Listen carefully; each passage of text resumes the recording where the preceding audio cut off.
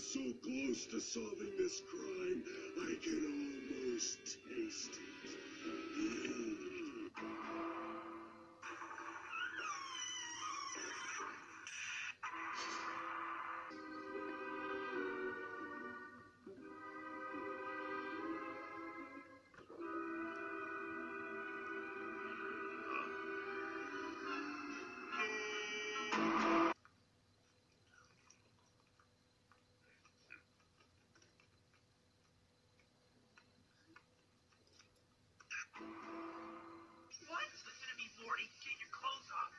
shower right now.